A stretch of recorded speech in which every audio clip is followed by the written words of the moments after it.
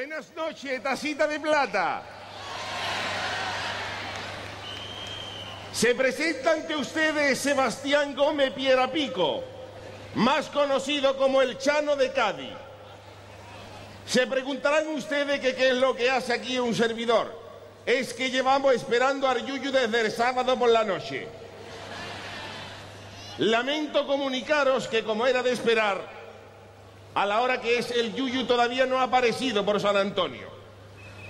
Con las marchas que se está pegando este gachón por la noche en la carpa, si a eso le unimos que el Yuyu duerme más que un koala anestesiado, tenemos como resultado que a la hora que tenemos lo que ya se veía venir, que es la hora del pregón y el gachón este no ha aparecido por aquí. Quisiera deciros que esto que os ha pasado con la ausencia del Yuyu, os lo tenéis merecido por encargarle el pregón a un niñato cuyo único mérito ha sido sacar cuatro chirigotas mojoneras y descafeinada. Y que fíjate cómo querrá Cádiz que se ha ido a vivir a Sevilla, en vez de partirse el pecho por la tacita. Por eso me resulta indignante que Cádiz no se acuerde de los auténticos carnavaleros para dar el pregón de su carnaval, cuando hay nombre de auténtica y sobrada categoría para pregonar el más grande de los carnavales. Nombre como por ejemplo el mío, el Chano de Cádiz. Gaditano por los cuatro costados y a las cuatro acostados. Hasta por lo menos las seis. Caletero 100%, hasta tal punto que en mi casa de la viña, en vez de tener cucaracha, tengo lenguado terciadito. Carnavalero desde el mismo momento en que nací.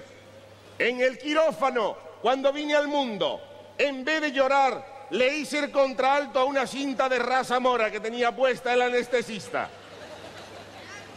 Así soy yo. Tan gaditano que mientras que los demás niños pedían por reyes el escalectri o la magia borrá, yo pedía la erizada y la ostionada de los cli. El Madelman comparsista con el traje del hombre del mar. Y el Hyperman bombista de la comparsa caleta, que lloraba y se cortaba las venas y lo dejaban fuera de la final. Y así me lo paga el pueblo, dándole el pregón a un niñato que ni siquiera se ha dignado a venir aquí esta noche. Que sepáis ustedes que antes de que el Yuyu sacara su primera agrupación, un servidor ya había sacado agrupaciones que todo Cádiz recuerda, como por ejemplo los que le hicieron la fimosia King Kong, los barnizadores de caparazones de tortuga, los que mataron a Gladiato por echar un rato, o los domadores de boquerones en vinagre. Todo eso por no hablar de mis comparsas más sentidas, fresquita y alegre, como sentimiento amembranado del puente canal, fantasía azanahoriada de la Piedra Pico, o los guardiamarinas del Juan Sebastián el Chano. Agrupaciones cuyas letras todavía pueden escucharse por las calles gaditanas, en boca de la juventud. Yo soy poseedor de una voz privilegiada, que lo mismo le hago la hortavillita a la sirena de la fábrica de tabaco, que le hago la segunda a la sirena del babo del puerto. Pero el destino ha sido justo conmigo y ha querido que el Yuyu fallara en el preciso momento en el que yo estaba aquí atrás, en la calle Vedor, preparado, porque yo sabía que esto podía pasar. Cádiz, yo vengo a salvar el pregón. Y aunque soy gaditano y sé que por el pregón de carnaval no se cobra ni un duro, la gente del patronato debería enrollarse conmigo y endiñarme la mortera. Que si no llego yo hasta aquí, el pregón está muerto. Más perdido estaría el pregón que un peo en un jacuzzi. Os juro de verdad, Cádiz, que no hago esto por dinero en metálico. Me da igual un cheque. Pero me hacen falta los talegos porque en mi casa la cosa está muy chunga y un picotazo económico nunca viene mal. La crisis en mi casa es de tal envergadura que a mi señora Carmela le he comprado una escopeta para que vaya tirando. Y estamos enharinando los boquerones con polvo de tarco. Saben para cagarse en todas sus castas, pero es verdad que se agarran menos a la garganta. En fin, no quisiera extenderme en demasía en esta presentación y paso a describiros cómo va a ser el pregón del Chano de Cádiz. Como podéis imaginar, por motivos logísticos de tiempo y de cascarañeo de última hora, no he podido montar un pregón como yo quisiera, tan elaborado y sentimental que le pusiera a usted de los pelos de coñeta. Mi intención era haber presentado aquí un documental sobre la historia de Cádiz y su carnaval. El documental estaba realizado por mi famosa productora de televisión, National Chanographic. Pero no voy a poder estrenarlo muy a mi pesar, porque me lo compró una televisión por cable. Lo del cable lo digo por el cable que me echó la televisión al comprarme el documental. Que por aquella época estaba yo completamente tieso y sin cobrar paro. Así pues, os hablaré de la historia del carnaval de Cádiz en los distintos periodos de su historia. Cádiz es lo más grande del mundo. ¿Qué tiene el carnaval de Río de Janeiro? Aparte, por supuesto, de unas mulatas que están mejor que la petróleo y las armadoras. ¿Qué tiene que no tengamos nosotros? ¿Por qué tiene esa fama el carnaval de Venecia? Cuando Venecia es una ciudad con más humedad que los calzoncillos del comandante Cousteau. Una ciudad donde las prostitutas van en bikini y tan inundada que los pisos se venden a 30 mil duros el litro cuadrado. Por eso y por muchas cosas más, y porque creo que Cádiz es lo mejor del mundo, comenzaré mi pregón contando la historia del carnaval de Cádiz desde sus orígenes. Según parece, el carnaval de Cádiz se inicia el mismo día de la creación del hombre y así se refleja en la Biblia. Pues cuando Dios creó a Adán y Eva, lo primero que hizo fue darle a la pareja dos entradas de paraíso, también conocido como gallinero, de lo que se deduce que Dios creó al falla antes que al hombre. Otro episodio bíblico que demuestra la presencia del carnaval de Cádiz desde tiempos inmemoriales es el asesinato de un conocido reventa cuando David mató al Goliat. Lo mató de una pedra, motivada sin duda por haberle vendido dos entradas falsas de palco platea para la final del 1445 ante de Fali Mosquera.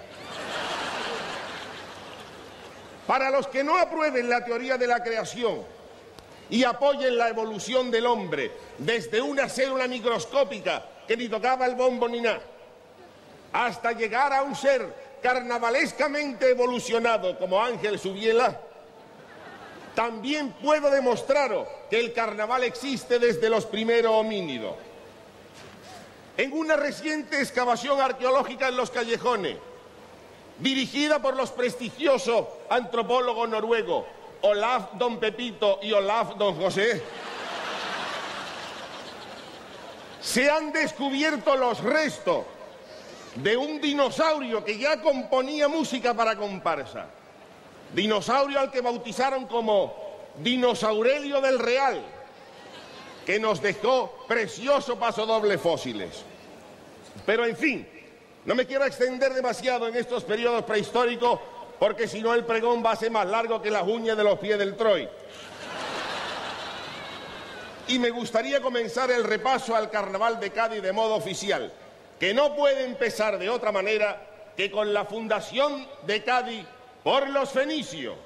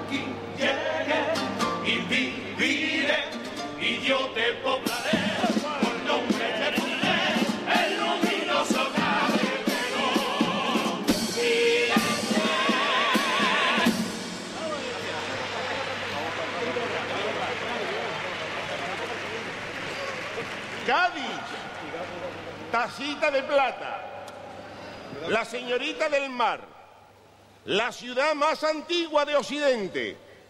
Como dijo el Peña, Cádiz, tú no eres vieja, tú estás chocheando. Ciudad con más años que la recordatoria de comunión del Pucherito. La ciudad de Cádiz fue fundada por los fenicios en el año 3000 antes de Julio Pardo. Cuando los fenicios llegan a Cádiz, la ciudad estaba más sola que Adán chateando. Pero a pesar de ello, los fenicios deciden fundarla, porque los fenicios eran más pesados que el cuñado de Rocky Balboa. Los fenicios llaman a esta ciudad Gadir, en honor a un colegio del mismo nombre que había en la barriada de La Paz año más tarde. Precisamente por esta relación colegial, pronto se fundaron en Gadir los primeros colegios y los fenicios comenzaron a importar vestuario para niños desde lejanas ciudades de Oriente. Al puerto de Gadir llegaban barcos enteros cargados de babis para colegiales. Desde la ciudad oriental más prestigiosa en la confección de babis, la famosa Babilonia. Los fenicios, por su condición de comerciantes marítimos, era un pueblo que buscaba siempre la costa, o sea, era un pueblo acostado. De ahí la fama que nos legarían más tarde a los gaditanos. Con la llegada de los fenicios comienza una época de prosperidad laboral para Gadir, ciudad que para su desgracia ha tenido siempre menos trabajo que el fotógrafo de la Biblia. Los fenicios trajeron el currelo a esta ciudad para teñir las telas. Los fenicios extraían las púrpuras de las conchas de las cañaillas que previamente había que vaciar del bicho y necesitaban mano de obra que vaciara y se comiera los bichos de las cañaillas. Todo ello acompañado por una cerveza fresquita, lo cual no era un mal trabajo para un gaditano. Hubo cola y hasta puñalá en el INEF, Instituto Nacional de Empleo Fenicio, que en aquella época preparaba la gente para optar a uno de estos cursillos de aprendizaje de peón obrero especialista en tragaera de cañailla. Trabajadores que desarrollaban su dura profesión en la calle Zorrilla y aledaños. Los fenicios fueron un pueblo que fundó tela de colonia. Llegaron a tener tantas colonias que abrieron una perfumería en la plaza del Palillero. Perfumería despachada por el bisabuelo de Alejandro Magno, que fue el que inventó el gel de baño de la botella negra que lleva su nombre.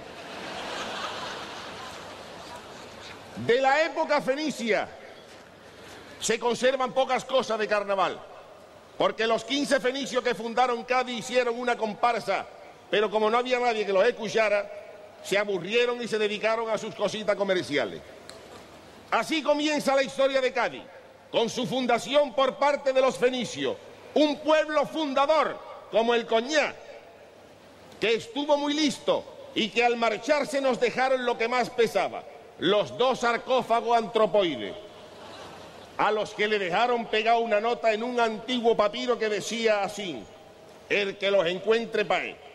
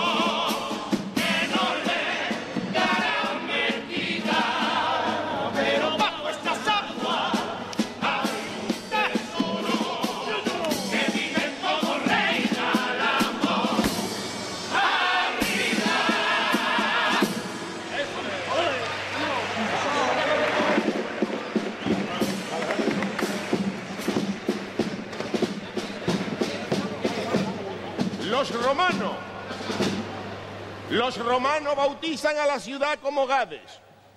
Y una vez instalado, les gusta tanto esta ciudad que casi todos los políticos, pensadores y soldados romanos se pusieron nombre de calle de Cádiz.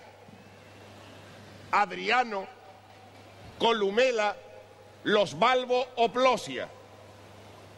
Durante la ocupación romana de Cádiz se vivieron momentos más tensos que el pescuezo del magrego cantando el final del popurrí de soplo de vida. Puesto que los cartagineses, tradicionales enemigos de los romanos, también vivían en Cádiz. El general cartaginés Asdrúbal vivía en la plaza que llevaba su nombre, concretamente entre la Mirilla y el Caruso, en lo que fue la antigua plaza de toros de Cádiz mientras que otro ilustre cartaginés, Amílcar Barca, vivía junto a la playa. Los romanos hicieron en Cádiz obra de gran consideración, como el Hotel Roma, o la carretera que servía para ir por los avíos del Puchero, la vía Apia, que conectaba la avenida Ramón de Carranza con el mercado de abastos de la Plaza de la Libertad. Durante la ocupación romana, Gades tuvo bastante que ver con un actual jugador de la plantilla del Cádiz. Y es que en cuestión de monedas, la Gades romana acuña como el paraguayo del conjunto gadista. Los romanos inventaron una moneda con la que en los locales de hostelería se pagaba una siesta de cuatro horas.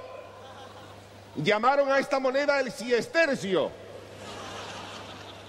También durante esta época, Julio César concede a los habitantes de Gade la ciudadanía romana, por lo que en aquella época Chico Linares podría haberse ido al Milán sin ocupar plaza de extranjero. E incluso podría haber jugado con la selección italiana, algo que dudamos. No porque discutamos la calidad de Linares, sino porque no nos lo imaginamos tan lejos de su ciudad natal. Los romanos colaboran enormemente a la modernización de Cádiz inventando los baños de agua caliente, las termas. Las termas solo llegaron a las clases más altas y en las zonas más pobres, los que no tenían para unas termas grandes, ponían termas chicas, o sea, termitas. Y así está la viña que se cae a pedazo por algunos sitios. A pesar de lo que se pueda pensar, los gaditanos no encajaron muy bien la presencia de tropas romanas en la ciudad. Los gaditanos le daban toda la coma posible a los romanos. Cuando los centuriones iban a comprar conserva de atún con salsa de garum, le pedían una lata archicuco de la tienda y éste le cobraba a precio de oro una lata así de chica, que los romanos acabaron conociendo como el latín, que llegó a ser lengua oficial del imperio. La poca vergüenza en Cádiz no conocía límite durante la época romana. Cuando los legionarios les reclamaban los impuestos a los gaditanos, estos les respondían, te voy a dar una cabeza de Trajano. En referencia a la cabeza del emperador que apareció en Bailo Claudia, en el término municipal de Tarifa. No seáis mal pensados. En vista de estas continuas revueltas, Roma tuvo que tomar medidas. Se contrató a gaditanos traidores para que informaran de las actividades subversivas contra el César. Una vez que los habían informado, los romanos ya no los necesitaban. Y cuando venían a cobrar su servicio, los romanos decían, Roma no paga traidores. De la misma manera que cuando los romanos entraban en un freidor y el gallego quería cobrarle, le decían, Roma no paga fraidores. Como consecuencia de todas estas cosas, se origina un hecho fundamental para el auge del carnaval de Cádiz. A los delincuentes y rateros se les condenaba a galera y se les reunía en un muelle que estaba muy cerca de las peñas Los Pitirolos, que con tantas galeras a su alrededor creó la primera galerada popular cuya invención se debe a los romanos en el siglo VII antes de Pepe el Caja. El origen del carnaval de Cádiz en la época romana tenemos que buscarlo en las fiestas que celebraban los hijos de Roma. Los romanos celebraban en febrero las fiestas en honor del dios Pan, pero otros legionarios que habían estado en Egipto adoraban al dios Apis. Y cuando se juntaba el pan y el Apis, había bocadillo patoquiski. De ahí la tradición de esas fiestas gastronómicas de gañote antes del carnaval. El emperador romano nacido en Cádiz, Augusto Acostatis, mandó construir en el siglo III el Teatro Romano, donde se celebró el primer concurso de agrupaciones de la era moderna, en el que concursaron comparsas romanas y griegas, que concursaban en categoría provincial. La comparsa ganadora fue una que representaba la conquista de Troya, y que se llamó hasta la mismísima Troya, del poeta griego Homero, cuyo sobrino Pedro Homero siguió años más tarde la tradición familiar y escribió grandes comparsas para el carnaval de Cádiz. La afición a nuestro carnaval pasó rápidamente del populacho a la clase noble. Era frecuente ver en los ensayos de las agrupaciones a cónsules, centuriones y al Senado, el Senado le decían a uno que ya venía comido de su casa. Vamos, que cenaba antes de salir, de ahí lo del Senado. Los romanos también empiezan a aportar los nombres con los que hoy se conocen algunas de las voces de las agrupaciones de carnaval. Un emperador romano tenía una hija con una voz muy aguda y chillona.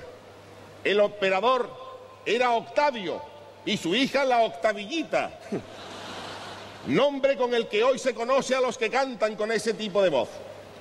Emperadores romanos hubo mucho, pero repasando la lista hubo uno que seguro que tuvo que nacer en Cádiz. Se llamaba Cómodo. Y con ese nombre me suena de aquí por cojones. Seguro que fue ese el que impulsó el carnaval de Cádiz por medio mundo, alcanzando fama mundial. Cómodo fue un emperador tan carnavalero que al gachó que marcaba el ritmo en las galeras le puso una caja y un bombo mientras los galeotes se cagaban en su puñetera mare a ritmo de 3x4. En definitiva, que termino aquí el repaso al carnaval de Cádiz durante el imperio de Roma, ya que los romanos lo dijeron bastante antes que el loco de la colina. Cuando Julio César dijo, Questum es Gades, et qui aiquet mamaren.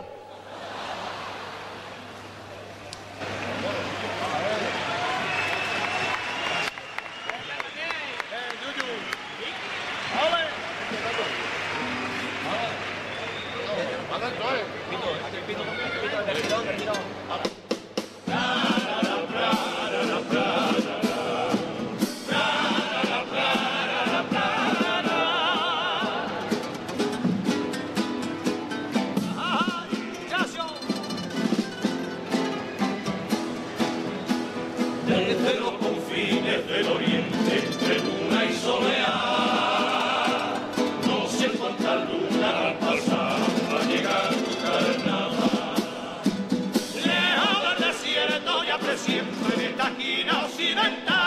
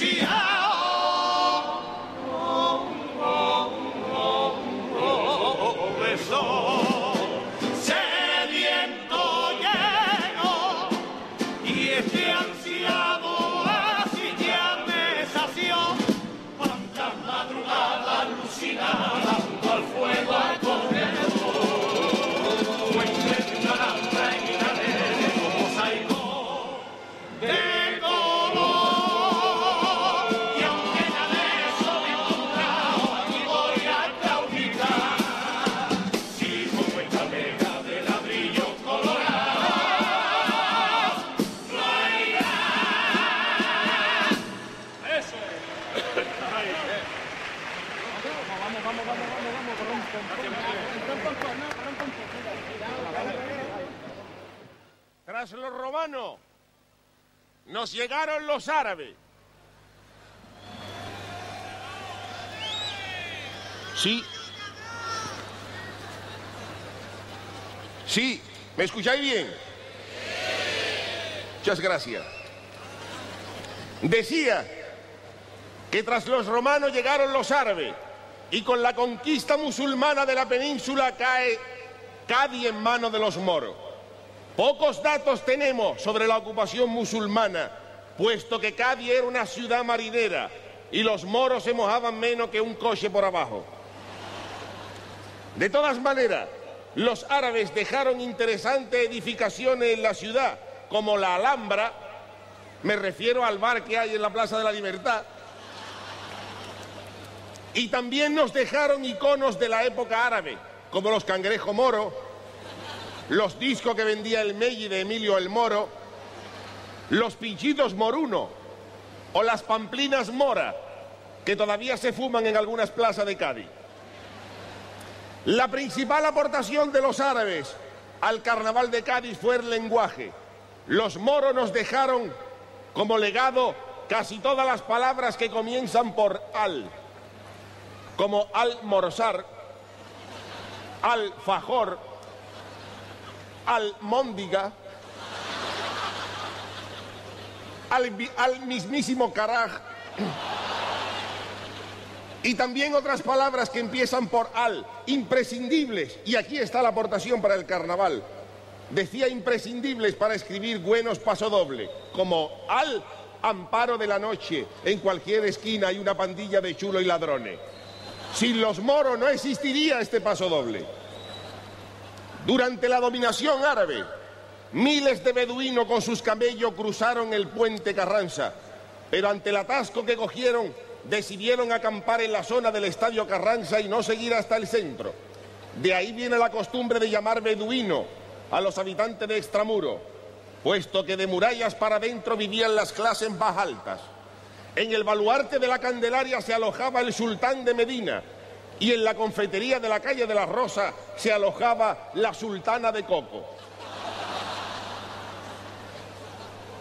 Los musulmanes crearon en Cádiz una prolífica industria donde destacó la fabricación artesanal de artilugios para apoyar la cabeza en la cama, lo que se conoció como el arte almohade, tan apreciado en nuestra ciudad.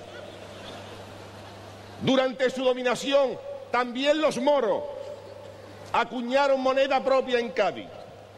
Las monedas de oro llevaban la imagen del emir, los árabes fabricaron monedas de Emir y de Emir 500.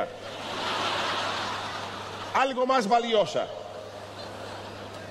El paso de los árabes por Cádiz no fue significativo, pero fue imprescindible para que muchas agrupaciones se vistieran de moro, logrando grandes pelotazos en el carnaval. Cádiz fue reconquistada por Alfonso X el Sabio, que fíjate que era sabio que fue rey antes que Arbañí. Los moros son los que mejor podrían hablar del carnaval de Cádiz, porque estuvieron aquí nada más y nada menos que 800 años. ¿Cuántos cajonazos, cuántas ninfas y cuántas cabalgatas caben en 800 años? Los árabes llegaron a Cádiz atravesando los desiertos africanos y entraron en la tacita con más arena que la moqueta de Lawrence de Arabia. Cuando los moros llegaron aquí, los árabes no estaban nada interesados en el carnaval de Cádiz. Tuvieron que pasar 50 años desde su llegada para que un califa musulmán se enamorara de Cádiz y aprobara el carnaval. Se trataba del califa árabe Hakim Hakem Mamá cuyo nombre aún se recuerda de vez en cuando en esta ciudad. Durante su reinado, los moros se aficionaron tanto al carnaval de Cádiz que se olvidaron de trabajar y nada más que querían cachondeo. Durante las fechas de carnaval los únicos que trabajaban eran los gemides. Bueno, gemide por donde gemide. Porque había alguno que no solo no la doblaba, sino que desde los minaretes de la plaza de San Antonio, estos emires recitaban sus plegarias, instigando al pueblo al abandono de los palaustres y las espiochas infieles. Con mensaje como esto. Trabaja espana. A ver si se acaban los palaustres, las espiochas y las herramientas para repellar. A lo que el pueblo contestaba, ojalá.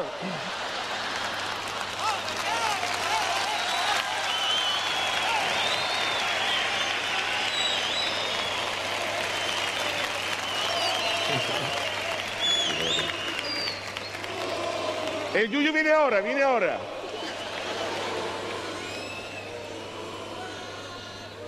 A partir del caudillo árabe, Hakim Haiken Mamá. Todos los demás que vinieron fliparon con Cádiz. Hubo uno que se bañaba todos los días en la caleta, que se llamó Mohamed I y se cambió el agüita después. Y otro de nuestros grandes visires fue uno que tras tirarse todo el día de cachondeo viendo ensayo de comparsas mora, llamaba a su casa para que su madre le fuera preparando la comida al gran visir, que se llamaba Omar, verme friendo las papas que voy para allá.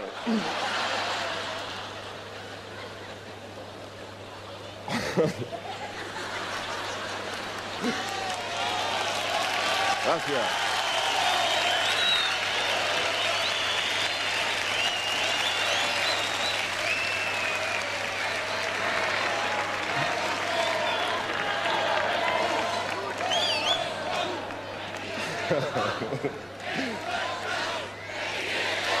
Muchas gracias.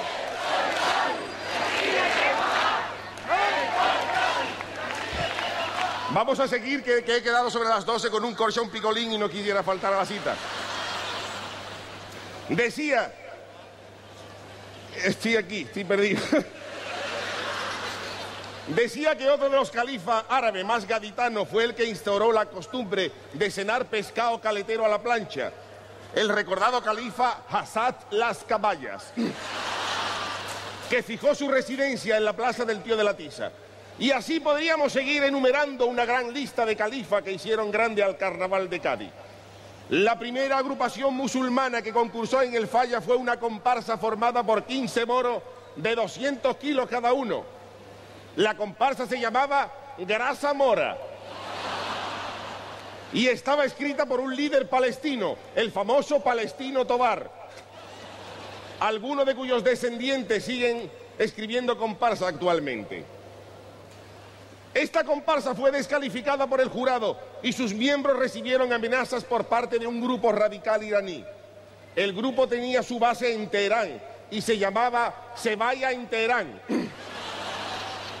grupo que estaba liderado por el ayatollah iraní Kurro Khomeini, que amenazó al jurado si éste no rectificaba, cosa que finalmente sucedió y la comparsa Grasa Mora obtuvo el primer premio. Los árabes permitieron también que en sus concursos de carnaval acudieran agrupaciones de la provincia de Cádiz. En el año 1300, el hijo de Guzmán el Bueno vino al falla con una comparsa de tarifa y el jurado árabe le dio un cajonazo a la comparsa y secuestró al niño de Guzmán el Bueno. Los moros se presentaron en el castillo de Guzmán diciendo que tenían a su hijo y que si no se entregaba lo matarían. Guzmán le tiró un puñal y cuando los moros le preguntaron para qué era, dijo, para que matéis al cieso del jurado que no ha metido a mi niño en la final. Con esta pasión se vivían los carnavales de Cádiz durante la ocupación musulmana. ¿Qué sería del carnaval de Cádiz sin los árabes? Paco Alba no podría haber ganado ni con los sarracenos ni con los beduinos. A Quiñones no le hubieran dado un cajonazo ni con los hombres azules ni con el legado andalusí. Los árabes desarrollaron las matemáticas, imprescindible para las agrupaciones de carnaval que quieren repartir un contrato de 2.000 euros entre 15 tíos. Ellos inventaron uno de los más famosos estribillos de carnaval cuando se enfrentaron a los cristianos en las cruzadas. Fueron ellos los que le dijeron a los cruzados aquello de hay cruzado qué cruz me ha caído contigo. Sin la presencia árabe en Cádiz, el Teatro Falla no tendría esa preciosa arquitectura mudéjar.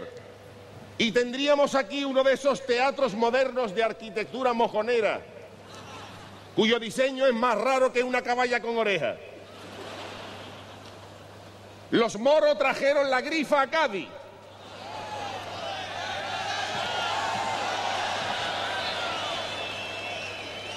Veo que conocéis la historia. Decía que los moros trajeron la grifa a Cádiz, poniendo con ello la primera piedra de esta tradición fumadora y tuvieron un papel muy destacado en la historia de España. Entre la grifa y el papel la liaron, envolviendo a España en una cortina de humo que duró 800 años. Termino Cádiz, el repaso al carnaval musulmán, recitando esta poesía del caudillo árabe Boabdil, que en uno de sus versos decía, Wah Allah el Hamut al-Mutami, que traducido resulta, cuando vea un anuncio para un trabajo, lee para ti.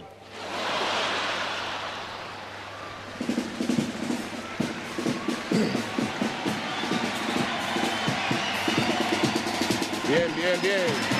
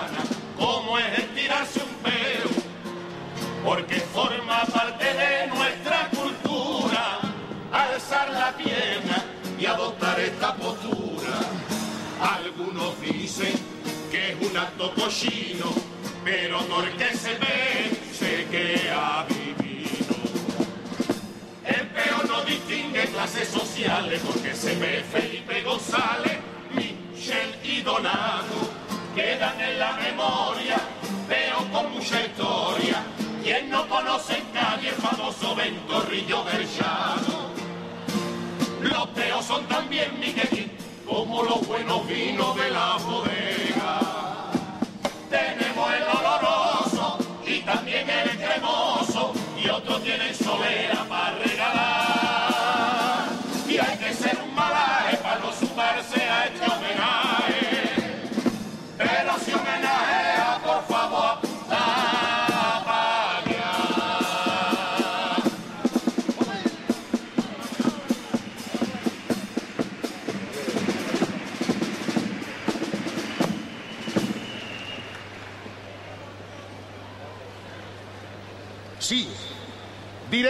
queridos amigos, que qué tiene que ver un paso doble al peo con la historia de Cádiz y su carnaval. Pues bien, la relación es que en 1680 hubo una epidemia de peste. De ahí la relación. Y esto me sirve para situarnos 100 años antes, con el asedio pirata a Cádiz. Los piratas llegaron a la tacita tras fenicios, romanos y árabes. Como se puede observar, por Cádiz ha pasado más gente que por la comparsa de Juanelo. Los piratas saquearon a Cádiz en varias ocasiones, puesto que del puerto gaditano salían los galeones con destino al Nuevo Mundo, en la carrera de Indias. Para los no universitarios aclararé que la carrera de Indias no era una prueba de 100 letros lisos entre Pocahontas, la cuñada del indio Jerónimo y la rubia de Bailando con Lobos no se llamaba así al comercio con las Indias que recibía este nombre. Cádiz notó el acoso de los piratas hasta tal punto que hoy todavía sobreviven en esta ciudad ciertos reductos de piratería. Que le pregunten a los de ONO si es mentira lo que digo. A pesar de lo que se pueda pensar, no todos los piratas fueron mal recibidos en Cádiz. El más querido por cierto sector de la población era el pirata inglés Francis Drake, que cada vez que venía destruía una flota de barcos españoles. Por este motivo los trabajadores de astillero le daban una placa cada vez que venía a Cádiz, por la carga de trabajo que generaba al quemar los barcos españoles. El pirata más sanguinario fue Barbarroja, que tenía más peligro que Nerón con un mesero. Mientras que el pirata más gaditano fue Barbacoa, que una noche de trofeo Carranza le metió fuego a la playa de la Victoria, inaugurando así esta tradición veraniega tan gaditana. De todas formas, el ataque pirata también dejó algunas cosas buenas en Cádiz, puesto que los corsarios nos legaron a la patrona, la Virgen del Corsario. A partir de esos años, Cádiz entra en una ruina más grande y se ve más asaltada que un freidor en Kenia. Primero nos llegó el Sangangui con el maremoto de 1755, que recientes investigaciones han descartado que se debiera a un flatito bajo el agua de María la Hierbabuena. El maremoto movió tela de agua y el nivel del mar subió una barbaridad hasta tal punto que en los polletes de los balcones, en vez de salamanquesa pegá, había cachucho y pijota. Seguramente de ese año viene la tradición carnavalesca de ensayar en los lavaeros, porque para ensayar en el sótano había que ser cuñado de Custo. Cuando la gente de Cádiz empieza a recuperarse del maremoto y empieza a ensayar con normalidad para los carnavales, se produce otro incidente. Las tropas francesas quieren entrar en Cádiz, pero los gaditanos repelen la invasión y no los dejan entrar. Dato que por la humildad de los gaditanos nunca hemos contado a nadie. Fuimos la única ciudad de España donde no se dejó entrar al francés. Pero como ya dijo el cuarteto del Gómez, historia de Cádiz, no hemos dicho nunca nada porque en Cádiz no nos gusta vacilar. En aquellos años daba gloria ver a la defensa de Cádiz, que no dejaba entrar a nadie. No como ahora, que a la defensa del Cádiz la coge de Sevilla y le mete cuatro, el Osasuna 3 y el Certa 2. Existen varias explicaciones para justificar la resistencia de Cádiz al asedio francés. La más apoyada desde el punto de vista sociológico es que el motivo del fracaso de Napoleón es que pretende entrar en Cádiz a la caída del sol, porque si llega a entrar a las 7 de la mañana apenas hubiera encontrado resistencia. Otra tesis sostiene que los franceses no entraron porque se presentaron ante la ciudad el 5 de febrero de 1810, domingo de coro, a las 2 de la tarde, y ese día en Cádiz no entra ni un francés, ni un alemán, ni uno de Huerva. El gremio que más sufrió los efectos del asedio francés a Cádiz fueron los peluqueros. Con las bombas que se tiraban, los fanfarrones se hacían las gaditanas tirabuzones. Y si tenemos en cuenta que los franceses tiraron más de 16.000 bombas, todas las gaditanas se peinaban de balde. Y esto provocó el cierre de 1.500 peluquerías de señora en Cádiz. Gran ruina para el sector. Los franceses se van aburridos el 24 de agosto de 1812, día de la final del Trofeo Carranza de ese mismo año. Pocos meses antes se reúnen varios diputados españoles y promulgan la Constitución de 1812, a la que bautizaron como la Pepa. Este bonito acto quedó reflejado en un cuadro que representa a los diputados en la iglesia de San Felipe Neri, con todos los diputados gritando, ¡Vivas a la Pepa! y Carlos el legionario buscando a la Pepa entre los diputados. Un segundo, por favor. Sí. Dime, Carmela. Es mi señora, mi señora. Ahora no puedo, Carmela, que estoy dando el pregón. ¿Que tu madre se ha perdido una bulla por la viña? No te preocupes que yo ahora mismo aviso a la policía. No te preocupes, Carmela, que yo la, que yo la llamo. Es que estoy dando el pregón ahora mismo, Carmela. Pero mira qué hago, llamo a los locales o al Seprona de la Guardia Civil. Son los que se encargan de las especies exóticas. Vale, vale, a los locales entonces, ¿no? Vale. Yo le digo entonces a los locales que si venga una por la calle que tiene toda la cara de la niña del exorcista, acaba de levantar, que no le digan nada que es ella. Bien. Ya lo sé, Carmela, hija, si no es meterme con ella. Eh, pero es que tú tienes que reconocer que tu madre es más fea que un bulldog masticando un avispero. Muy bien, Carmela, tú no te preocupes que todo va a salir bien. Ya verás cómo aparece prontito, ¿eh? Que tu madre se llama Esperanza y eso es lo último que se pierde. ya lo sé, Carmela, ya lo sé, pero, pero yo ahora mismo estoy más liado que una pelea de anguila y no me puedo quitar de en medio. Estoy aquí en San Antonio en el pregón. En cuanto pueda me llega a casa, ¿eh? Bueno, te dejo. Eso me gustaría a mí. Perdón por la interrupción. Seguimos con el pregón. Muchas gracias.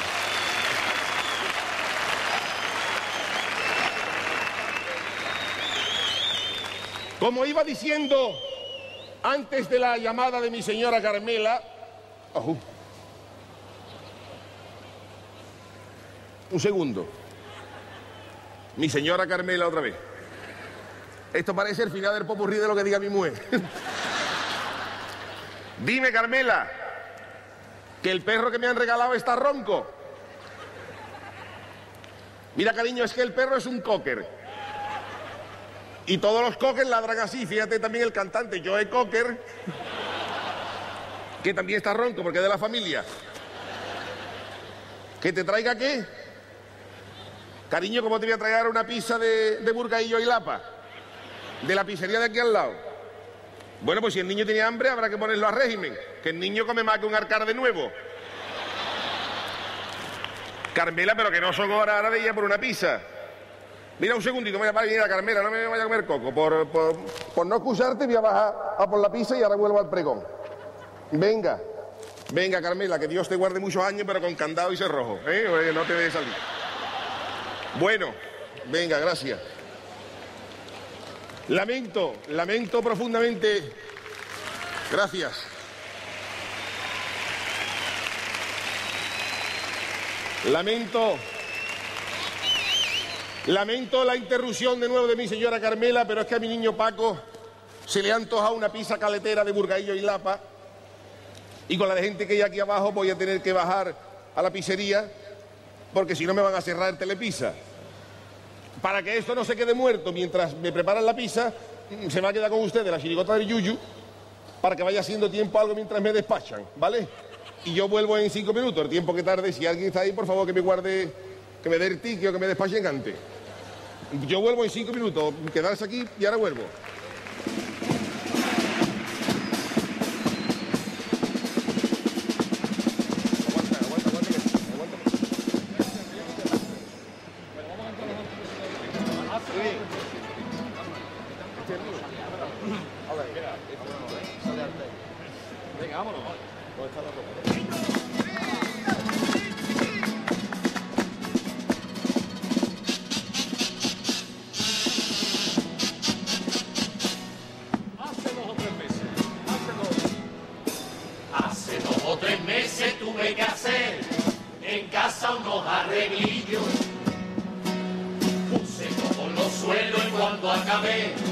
le puse un unos sogalillos.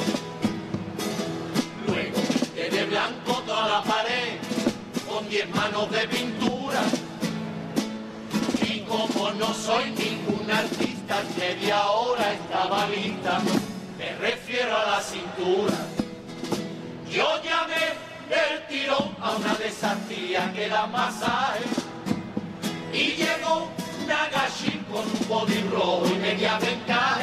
Soy Rosy, cariño mío, y por 15 mil te hago lo que quiera. O toma 15 talegos y de pintarte yo que es lo que queda.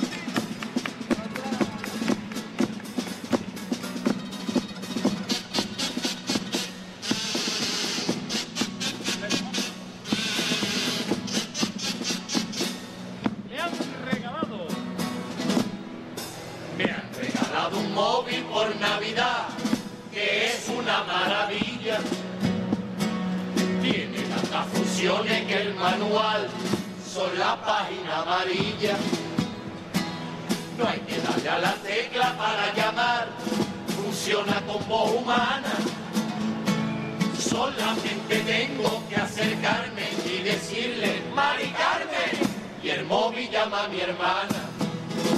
Cuando voy a charlar sobre carnaval le digo Juaneo y al decir Juan Luis me marca el número de mi abuelo.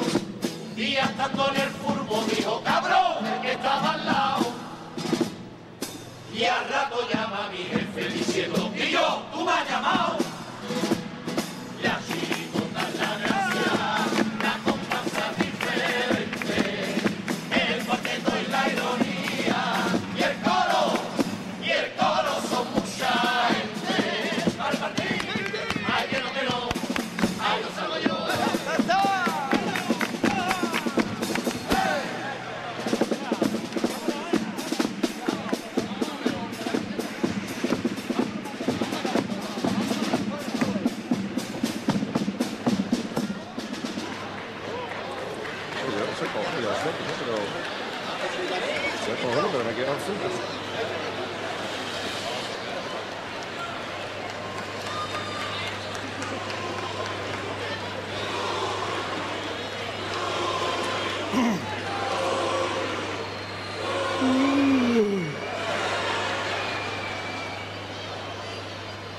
Perdóname.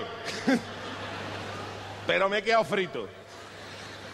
Tiene guasa que para una vez que voy a dar el pregón de carnaval, me quedo dormido. Es que de verdad que no se puede estar en tantas cosas a la vez, la chirigota, el programa, el pregón. Y para colmo va el, el chufla del chano, se me cuela y me larga más de medio pregón.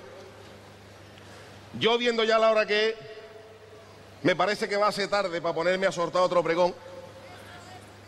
Y no quisiera arriesgarme porque el pregón ya le ha dado el chano.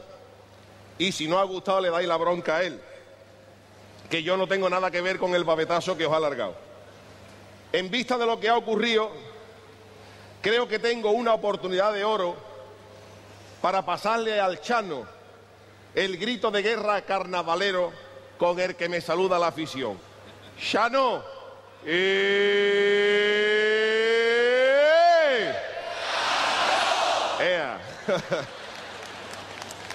Cádiz, ¿qué podría yo decirte que no te hayan dicho nada? No puedo yo bautizarte como tacita de plata, salada claridad o señorita del mar. Para ello ya han pasado por este escenario poetas y escritores de dentro y fuera del carnaval, que te dijeron cosas preciosas que ni quiero ni puedo mejorar.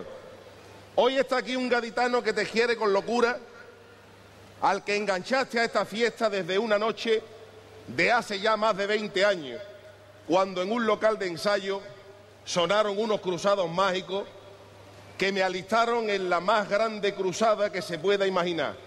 Y no crean que exagero, que no suelo exagerar, que todo es verdadero, ya usted lo comprobará. A lo largo de esta extensa campaña he conocido otros cruzados y también algunos sarracenos que seguramente podrían y debían de haber pisado este escenario antes que un servidor. Pero las cosas son como son y cuando Cádiz te llama uno no puede decir que no. El pregonero se llama José, pero podría llamarse Julio, podría llamarse Kiko, podría llamarse Celu, Fernando, José Antonio. El pregonero se apellida Guerrero por su padre y Roldán por su madre, pero podría apellidarse Quiñones, Martínez Ares, Aragón, Bustelo, Ripoll, Santandero, Márquez Mateo. El pregonero tiene un mote, el Yuyu, pero podría tener otros como el Sherry, el Noli, el Lobe, el Batidora y otros tantos. El pregonero es el que está aquí.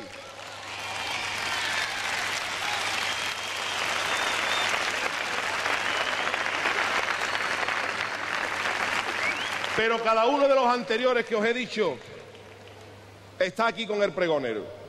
Un pregonero no es más que la representación de los que hacemos carnaval y la representación de sus compañeros. El carnaval de Cádiz y mi Cádiz y su carnaval. El carnaval que tanto me ha dado y al que le he correspondido con lo que buenamente he podido. Un carnaval que me llevó hasta la radio y una radio que cada noche le hace un guiño a Cádiz, con un nombre que más carnavalero y más decae imposible, el pelotazo. Lo que son las ironías del destino. Un pelotazo me quitó del carnaval de Cádiz, pero algo de Cádiz y su carnaval suena cada noche en el pelotazo. Gracias.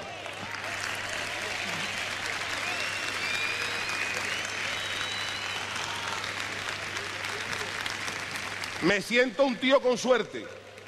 Tengo la profesión más bonita del mundo que es hacer reír y para quitarme esa fama de flojo que flota a mi alrededor, dedico mi tiempo libre a sacar chirigotas, a escribir libros de cachondeo, a currar en la radio, a colaborar con artículos en prensa y a hacer fotografías en el fútbol.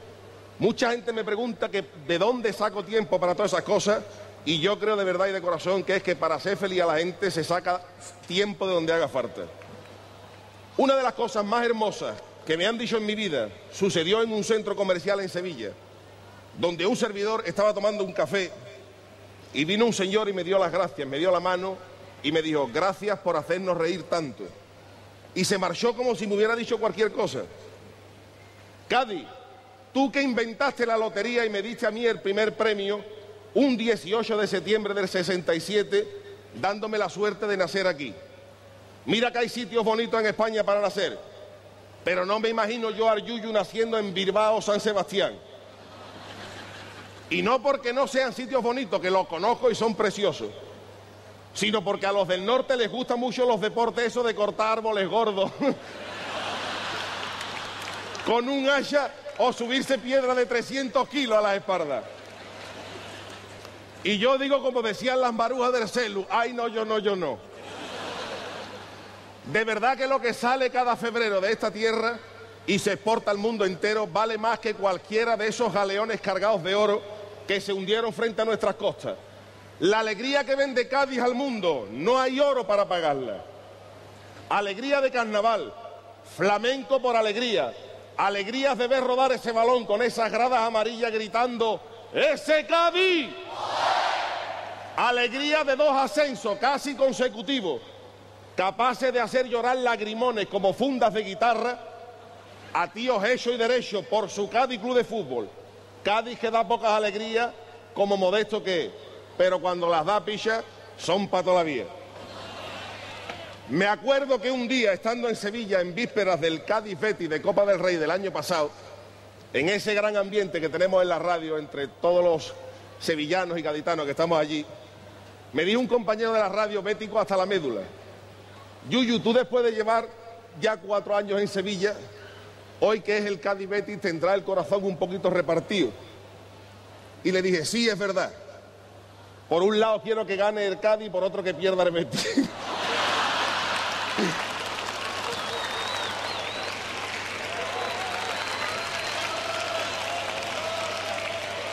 Mi colega se hartó de reír y luego me alegré muchísimo que el Betis ganara la Copa del Rey por él. Sé que aquí hay muchos sevillanos, muchos andaluces de todos lados y muchísimas gracias por estar aquí. Es una simple broma con respecto al fútbol. Bienvenidos a Cádiz a su carnaval.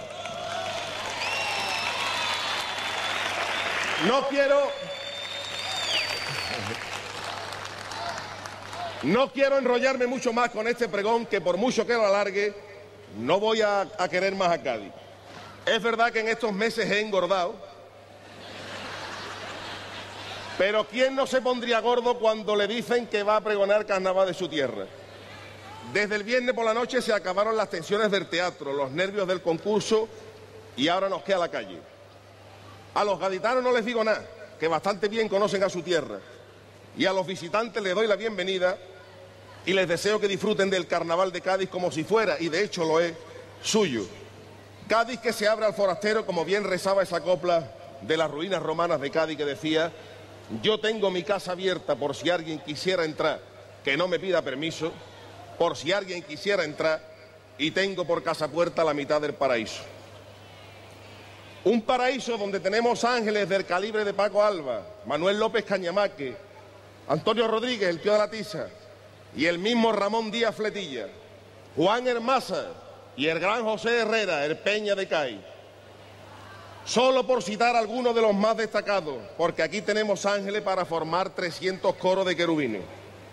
A los que se fueron y a los que están, gracias de corazón por hacer de esta mijita en mitad del mar algo tan grande.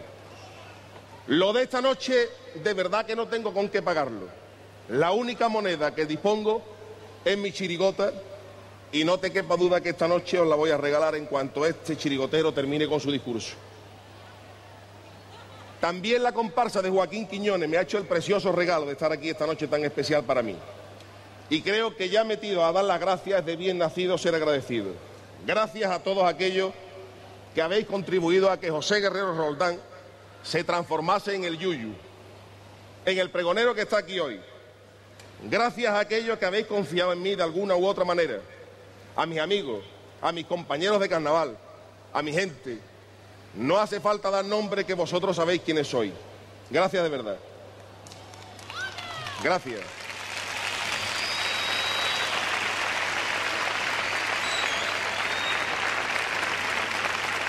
La eterna pregunta que alguna que otra vez nos hemos hecho todos los carnavaleros es si realmente merece la pena todo esto. Yo desde luego que hoy he tenido la respuesta más contundente de todas las respuestas posibles. Para ser sincero, Querida alcaldesa, lo único que no me ha gustado del pregón es el pedazo de escenario que me habéis puesto. Ya sé que estoy gordo, pero no es para tanto. ¿eh? Subliminal.